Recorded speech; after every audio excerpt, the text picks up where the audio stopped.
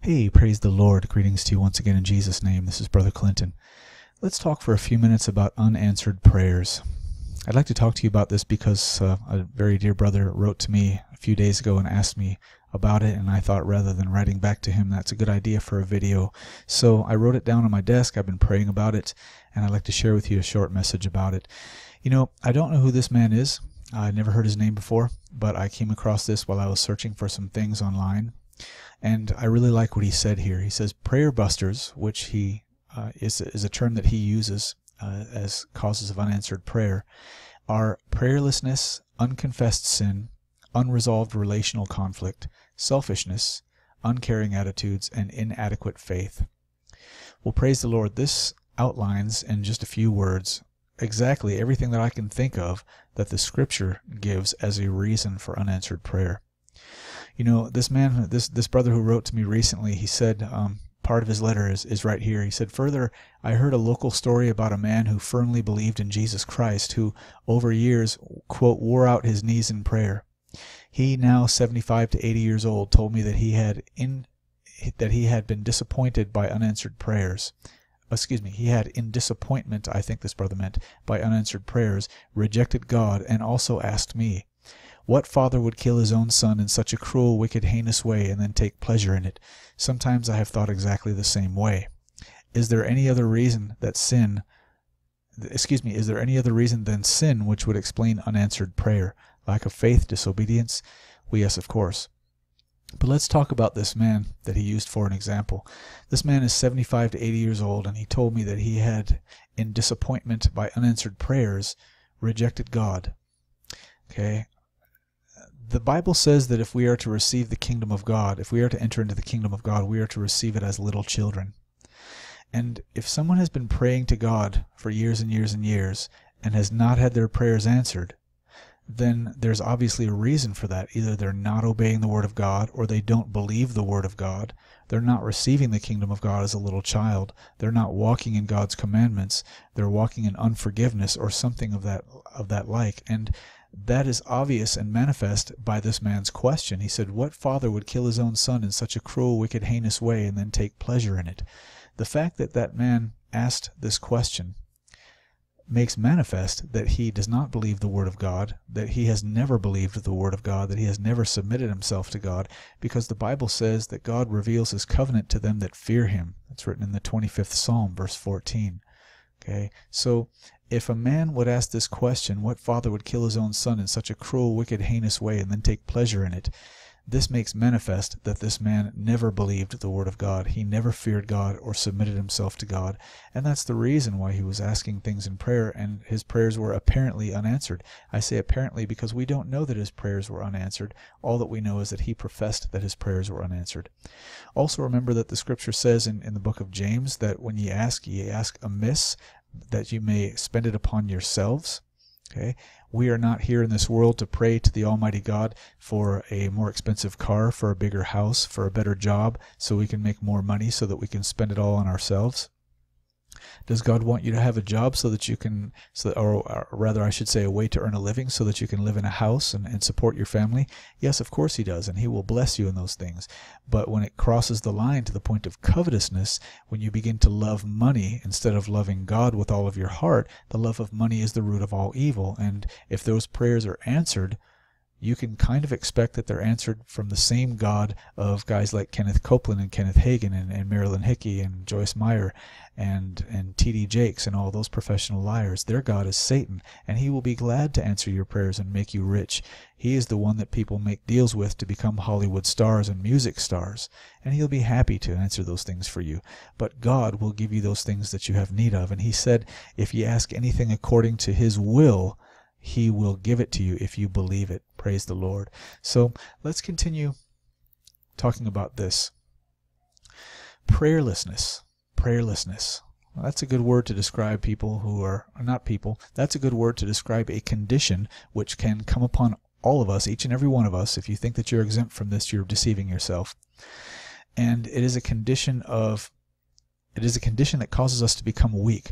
Prayerlessness to a Christian is the same thing as uh, anorexia to a human being, okay, to any man or woman. it causes you to become weak. Prayerlessness, the less time you spend in prayer, the less strength that you will have in the Spirit.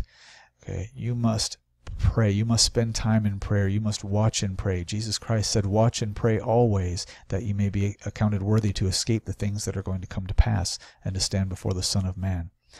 If you do not spend time in prayer, you are starving yourself just as if you were to starve your flesh by not eating food or drinking water.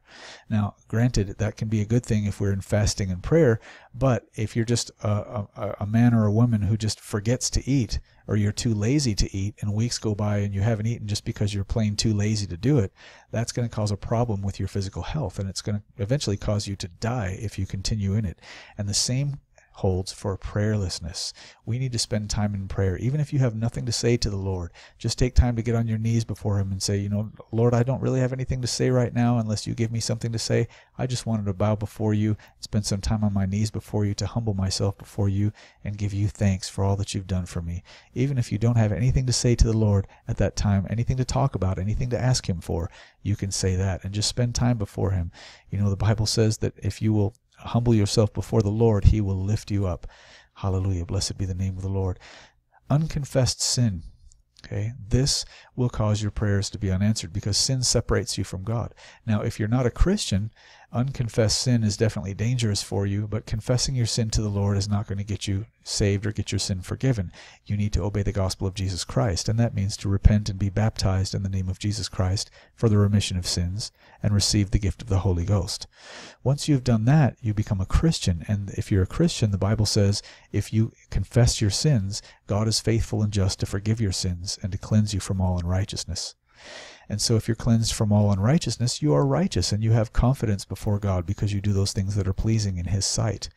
And if you are in that state, then you have upon you the breastplate of righteousness, and you are able to come before God with a clear conscience, with the answer of a good conscience, as Peter said in, in 1 Peter 3.21 and to ask of him anything according to his will. And if you believe it, then you will receive it. But if you have unconfessed sin in your life, then your heart condemns you. And if your heart condemns you, then God is greater than your heart and knows all things. So if you're trying to hide your sin from God, you're doing it in vain because you can't hide it from Him. So go ahead and confess it and repent from it, and He will forgive you if you're a Christian. If you're not a Christian, obey the gospel of Jesus Christ, and He will forgive every sin that you've ever committed in your life. Hallelujah. Unresolved relational conflict. Okay, unforgiveness. Jesus said, When ye stand praying, forgive, if ye have aught against any, that your Father in heaven may also forgive you your trespasses. For if ye forgive not your neighbor or your brother their trespasses, neither will your Father in heaven forgive your trespasses. If there's somebody in your life that you have hatred against, that you're holding something against, that you're refusing to forgive for something, no matter what they have done, you need to let that go. You need to not only let it go before God, but you need to contact that person if at all possible and let that person know that you let it go, that you forgive them, that you hold nothing against them, that they owe you nothing, that you have completely forgiven them and you have given the situation to God. And then go to God and tell him that, mean it with all of your heart, and get that situation out of your heart. This also applies to husbands and wives. Okay, Peter said in the in the third chapter of First Peter. Let me just go there real quick in my Holy Bible. Pardon me for a second while I find it, because I only have one hand as I'm using my other hand for the microphone. But First Peter chapter three, it says, um, likewise, in First Peter chapter three verse seven, likewise ye husbands dwell with them according to knowledge, giving honor unto the wife as unto the weaker vessel, and as being heirs together of the grace of life, that your prayers be not hindered. Okay, so this doesn't mean that you are to to accept everything that your wife may do if she is rebellious or unbelieving or anything like that. It doesn't mean that you're to compromise the word of God for her, but it does mean that you are to treat her as the weaker vessel, that you are to treat her as as just as if you would treat a child. If a child comes up to you and kicks you in the leg and says, "I hate you," you don't um, beat the child down or hate the child. You recognize that the child is a child and that he doesn't yet understand the things that he's talking about because he hasn't yet reached maturity. And sometimes, sometimes, not all the time, and I'm not speaking against females because men can act like children too, but sometimes wives act like children, and you have to recognize that they are the weaker vessel and that they have needs that are greater than yours. They have weaknesses that are greater than yours, and for that reason, they have you to be their strength. And we need to understand that and to walk in forgiveness with them, to walk in patience with them, and to love them, even as Jesus Christ loves us. Sometimes when we act like little children and we deserve to be smacked down, Jesus Christ doesn't smack us down, does he? He looks at us in love, and if he corrects us, he corrects us in love with gentleness. And that's how we are to be toward our wives, lest our prayers be hindered. That can also hinder your prayers. Selfishness. Selfishness. That will hinder your prayers, won't it? You know, the, there's there's a multitude of, of, verses of the scripture that talk about selfishness. Um, and I can't seem to think of one right now, but there are multitudes of them. Um, you know, let everyone care for the needs of others more than himself. Um, let everyone look upon the, the, things of others more than himself, or something like that. The Scripture says. The Scripture says this many times. It's better to give than to receive. This is what the Lord said. Um, love your neighbor as yourself. It's it's just obvious from all the Scripture that you are to view your neighbor as better than yourself. You are to honor your neighbor as better than yourself. And when you do that, when you minister to other people, then in the process of doing that, God will minister to you. You see, there is a scripture that says in the Proverbs, He that maketh himself rich hath nothing, and yet he that hath he that maketh himself poor uh, has has all things. I didn't quote it exactly right, but the scripture says that if you search and seek to make yourself rich in this world, then eventually you'll have nothing. But if you give that which you have, then that which you have need of will be given back to you, pressed down, shaken together, and, and, and in great measure. You see, this is what the scripture teaches. So if you spend your time trying to get everything that you think you want, then that's your reward. But if you spend your time ministering to other people to make sure that they have their needs taken care of, then God will see that and He will make sure that your needs are taken care of and, abound, and abounding. Blessed be the name of the Lord. So, selfishness will definitely hinder your prayers. Uncaring attitudes, well, that kind of goes along with selfishness, doesn't it? Uncaring attitudes. If you don't care about someone, you're not loving your neighbor. And if you're not loving your neighbor, you're not obeying God because the second greatest commandment is love your neighbor as yourself.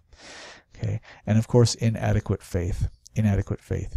You know, that's a subject that, that offends a lot of people. But, you know, the, the apostles one time, they were they had been casting out devils and healing the sick, and they were trying to cast out a devil and couldn't do it. And Jesus came and he cast out the devil.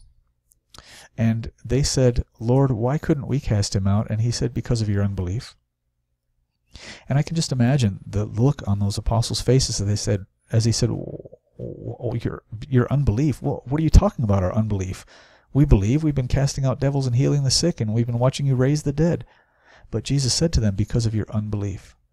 And then he talked to them about fasting and prayer. And he said in another place, If you have faith as a grain of mustard seed, you might say unto this sycamine tree, Be uprooted and planted in the sea, and it should obey you. He said, Whosoever shall say unto this mountain, Be thou removed and be cast into the sea, and shall not doubt in his heart, but shall believe that those things that he saith shall come to pass, he shall have whatsoever he saith. See, so if you believe, if you ask the Lord something according to his will, which means it's according to His Word. If you know His Word, you know what His will is. And if you ask Him something according to His will, if you're in covenant with Him and you're obeying His Word, and you believe that you receive it, you shall have it.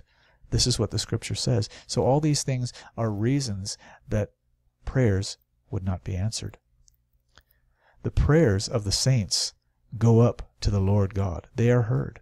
And when he had taken the book, the scripture says, the four beasts and four and twenty elders fell down before the Lamb, having every one of them harps and golden vials full of odors, which are the prayers of saints. In that last day, when when these things are coming to pass that are written in the, in the fifth chapter of the Revelation and in the eighth chapter of the Revelation, with the prayers of all the saints upon the golden altar which was before the throne, it will be made manifest that the prayers of all saints which have been prayed throughout the ages have been heard.